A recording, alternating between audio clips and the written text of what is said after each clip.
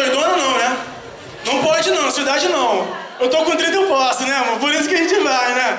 E aí, Drogo, tranquilo? Sou fã do Game of Thrones. Me amarro, mano. Você pegou a Daenerys lá, os dragão, né, mano? O dragão, vou te dar minha sogra pra tu levar ela lá pra Daenerys também. né, vai ficar na caverna com o demônio. Ah, e a, a, a mina de vermelho aqui, You Know Nothing, Jon Snow. Caraca, maluco, esse é o Jon Snow, esse aí? Gatinho, pô, parabéns aí, tá pegando cara, legal. E aí, galera, tudo bem? Eu me chamo Diego Rastichong, é uma mistura de Rastafari com Titichong.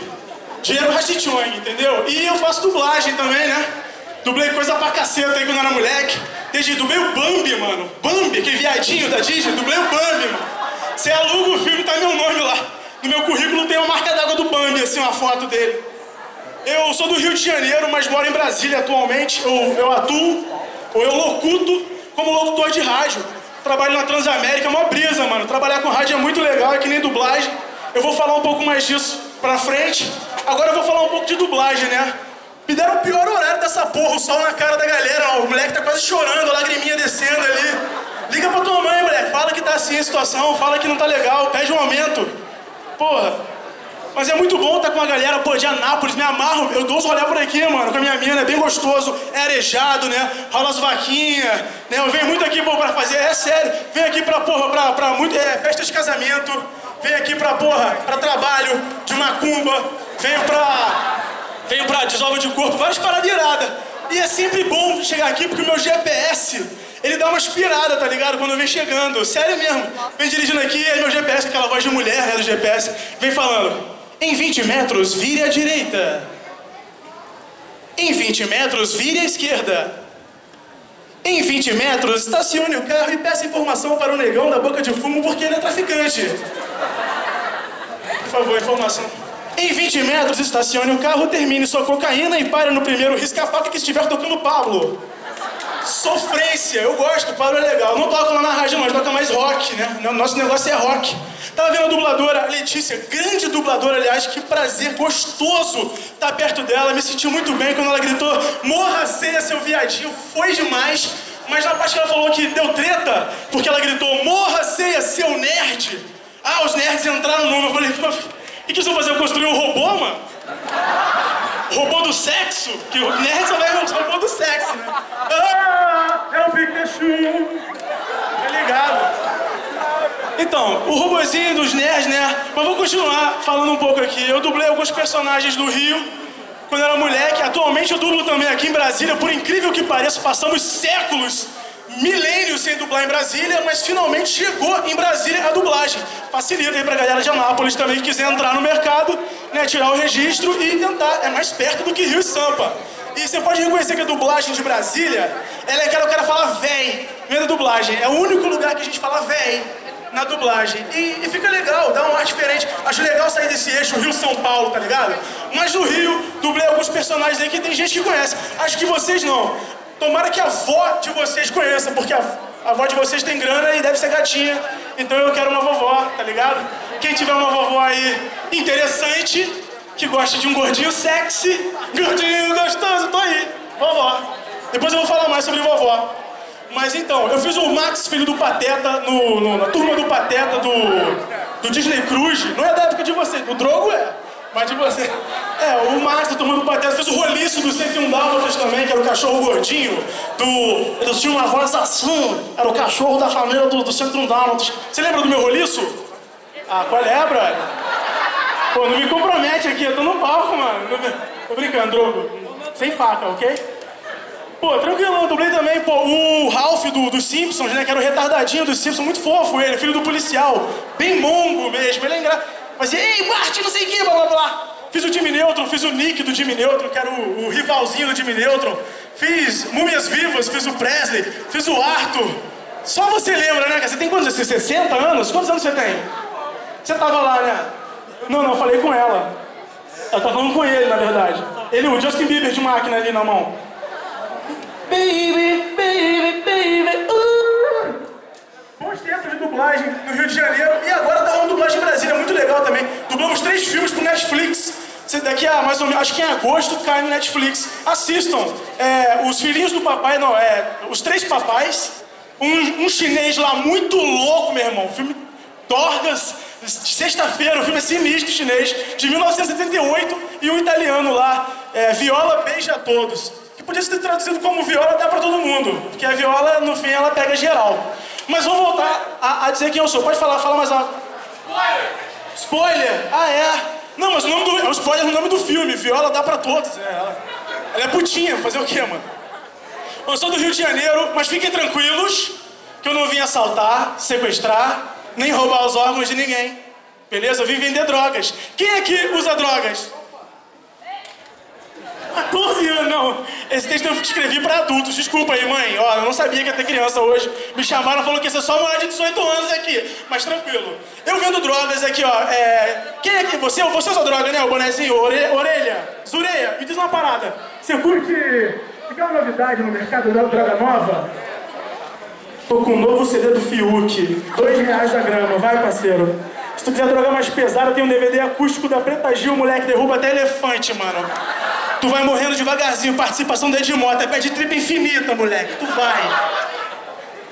Dia desses eu vendi um quilo de Diante do Trono pros gladiadores do altar. Mano, foi a rave gospel mais louca de todos os tempos.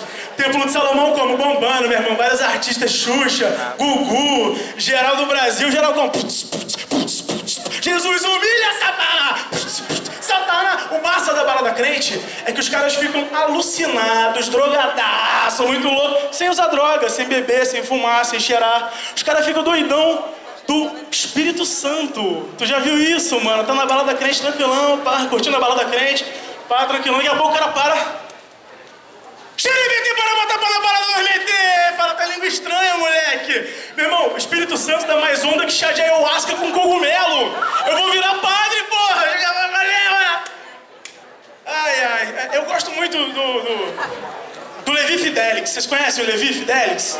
Ele é fofinho demais, né? Ele é tão fofo que eu tenho a impressão que quando ele caga, não sai merda, sai uma pokebola, tá ligado, meu irmão? Vai, Pikachu, seu arrombado! Só não dá o cu, meu filho! Senão eu te deserto, meu animal! Eu acho ele Fidelix fofo, só não entendo essa homofobia dele. Eu não, não compreendo a homofobia pelo seguinte ponto. Pra mim, o heterossexual tem que ser contra outro heterossexual. Por quê? Porque aí ele elimina a concorrência, não é verdade? É verdade, os caras estão ligados, namorar, cara agarradinho com a mulher, ó, agarradinho aqui, ó. Eu vi a mão, né, ó. Mas então, você sabe que tem que eliminar a concorrência, que eu vou que, que, que, o cara é gay, ótimo, mano, ele não olha pra minha mina, tá tranquilo. Mas aí o Levi Fidelix prefere eliminar a concorrência gay?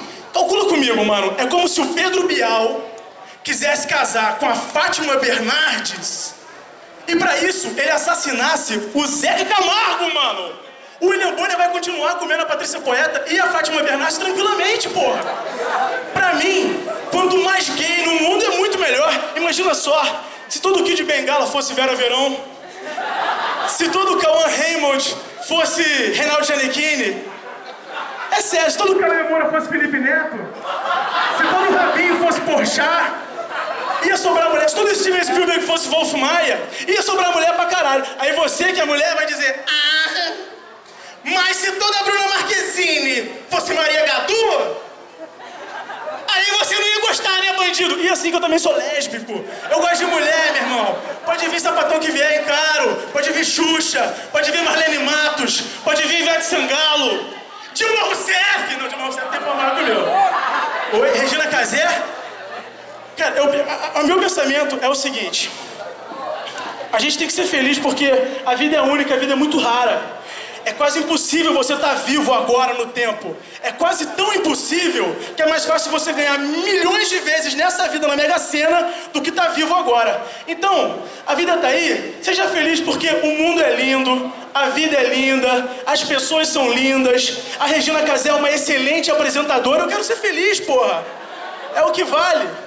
Eu não lembro onde é que eu tava na Xuxa, né? Eu pego em cara. A Dilma tem o pau maior que o meu, eu não pego, moleque. É a única sapatona do mundo que eu não pego. E tipo assim, a Xuxa eu até encararia. A Xuxa eu gosto, né? Ela é uma sapatinha, mas é uma sapatinha que a gente, porra, que sapatinha, né? Nem sapatinha do sapatinho xereque. Aí eu falei, porra, Xuxa não. Mas já tive tesão na Xuxa. Mas eu perdi. Eu perdi esse tesão na Xuxa quando eu fiquei sabendo que ela namorou o Pelé. Nesse momento o pessoal silencia, assim, ah, racismo. Não é racismo. É porque, assim, quando eu fiquei sabendo que ela pegou o Pelé, passou a fazer sentido na minha mente aquela letra daquela música. Pega a balança, gira, estica e puxa. O quê? A perereca da Xuxa. Oh, Pelé detonou. Ô, Pelé. Vacilo, né? Falando em Xuxa, eu sou casado com uma mulher que parece a Xuxa. Ela é loura, é, tem olhos verdes, tem 1,85m, eu tenho 1,76m. É, é triste a minha situação, vai vendo. Ela é loura, ela. Calma, vou falar sobre isso. Ela, meu irmão, ela. Já, já viu aquele filme As Branquelas? Eu casei com a mais alta, mano. Minha mina assiste futebol comigo. Minha mina, mano, ela parece mais cara que eu. É, é, ela tem mais testosterona que eu. Mas não é um travesti. Mas ao mesmo tempo é. Porque é o seguinte, minha mulher quando bota um salto alto, ela fica com literalmente dois metros de altura. Parece um avatar. O Chewbacca tem medo daquela porra. O, o, Chewbacca bola, moleque. E a chubuca dela, meu irmão? Dá medo, moleque. Encara aquela porra todo dia, mano. É, é, é, o preço que ela é gata, ela é muito gata. Ninguém tem, ah, o gordinho retarda, mongoloide com a gostosa. Mas eu pago o preço, cara, por isso. Porque vou numa festa, meu irmão. Vou na festinha lá de escolher lá na rádio, pô, festinha eletrônica, lá, vamos lá, pá, demorou. Então vou botar o salto alto, tá, meu amor? puta, não, girafa do inferno, não faz isso. Aí ela vai, bota o saltão, meu irmão, aí fica com dois metros de altura naquela porra, aí bota um vestido branco, tá ligado? Até aqui, assim, vestidão branco, bota um chapéu combinando com o vestido, e a gente vai pra festa, ela fumando um cachimbo. Não tô zoando, não inventei esse texto, a demônia fuma um cachimbo comigo no meio da rua. Mano, eu me sinto indo pra Mordor, eu me sinto Frodo, do lado do Gandalf, porra! Quer ver se ela colocou o anel em mim? Tá, não me cobrou, caralho! Mas é bom, é legal. O massa de sair com ela é que ela intimida os caras, tá ligado? É sério, os caras não ficam chegando quando eu tô com ela. Pode ser bonitão, pode ser fortão, pode ser gostosão, pode ser o caralho, pode ser o que for. Mas os caras não ficam chegando em mim quando eu tô com ela. Os caras respeitam, meu irmão. Eu tô com a mina, Caralho, alguém entendeu? Valeu, moleque. Obrigado. E a mina, a mina é grande demais mesmo, dá medo, né? Eu fico. É, os, você tem ideia, ela é tão grande que os glóbulos brancos dela faziam a segurança lá do bairro, mano. Que vezes a gente foi pro Rio de Janeiro dar um rolê, né? Pô, Carioca, Rio de Janeiro, Ipanema, pá. Ela vou pegar um sol, demorou. Deitou assim com aquela bunda apoteótica, tem a bunda de carnavalesca da África, moleque. A bunda desse tamanho, meu irmão. Piquinão pro alto. Quando eu vi, tinham montado uma UPP na nádega esquerda dela. Na nádega direita, rolou a facção rival, troca de tiro. Foi o pior final de semana da minha vida, mano. Foi uma merda. Estragou a balada. E depois foi depois pior que eu ia fazer amor com a minha mulher. Encontrava dolinha de maconha no meio da bunda. Encontrava granada, lança tóxico. é, inventei. Então, aí é, minha mulher, assim, ela é meio problemática. Mas é massa isso, porque a minha avó Segundo a minha avó, essa relação não devia existir. É uma aberração da natureza que eu esteja com uma mulher tão alta, porque ela diz que minha avó diz que pela genética, se a minha mulher tivesse nascido homem, ela teria o pênis maior do que o meu. Eu tenho que falar, porra, avó, fala sério. Ela já tem o pênis maior que o meu, mas é coisa pouca, uns 5, 15 centímetros assim no máximo. É coisa neném. É bom, é bom esse rolê.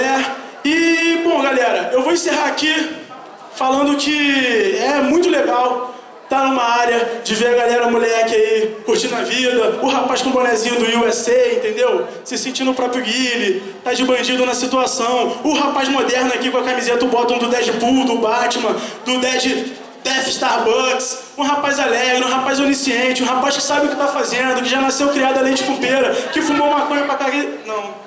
Ele não fuma. Vocês conhecem o Ju Brother? Eu falei que ia encerrar, mas eu ainda ia enrolar um pouco, se quiser. Mas pode ficar aqui comigo. Vamos ficar abraçados que fica mais gostoso. Aí não, tá muito gay. Eu não vim de sutiã hoje. Então. Ai, que gostoso. Então, galera, é o seguinte, mas então vamos continuar a conversa, beleza? Eu vou deixar o microfone pra nós dois podermos falar. Não sei se é... é, a gente vai ficar quase beijando aqui. Beleza, bem gostoso. Vocês conhecem o canal Away, galera? Alguém conhece o canal Away aí? Gil Brother? Poucas pessoas conhecem. Você conhece, né? Ele é ali, ele é ali. Pouca gente conhece, tô impressionado. Galera, chega em casa, bota lá canal Away Gil Brother, vocês conhecerem, o cara é referência no mundo. Fui diretor do canal por um tempo, criei o desenho animado dele e vou anunciar para vocês que a gente está produzindo o desenho animado do Gil Brother para tentar colocar no Netflix. Se rolar, vai rolar em várias línguas, vai rolar pro planeta inteiro. Então divulguem, é um desenho muito louco. O cara que é alucinado é louco pra caralho, o cara é muito louco e vai matar os donos do mundo. O quê? Porque o Gil Brother deu uma sumida e tal, deu uma diminuída no tanto que ele estava produzindo Antigamente ele produzia muito mais. Aconteceu o problema, é seguinte, os alienígenas chegaram, vocês sabem, já faz um tempo que eles estão aí dando rolé, o ministro da defesa do Canadá já tinha avisado essa porra, e os alienígenas conseguiram cativar o Huawei para produzir para eles, para fora, né, para outros planetas, né, a área de Andrômeda ali, a área de, de Estarcheran convocou ele. E o Estarcheran parece muito aquele menino que tá ali, eu acho que é ele na real ali, ó. É o Estarcheran ali, ó. Olha lá, é tu mesmo, não, menino, é tu mesmo, eu da camisa branquinha. Não finge, não. Não finge, Jesus Cristo sem barba. Não finge, não, que não é contigo. Mas é isso aí, eu vou encerrar dizendo que amo muito vocês, obrigado pela presença, valeu, um forte abraço e may the force be with you. A gente se vê em algum lugar do mundo. Oh, valeu, Diegão.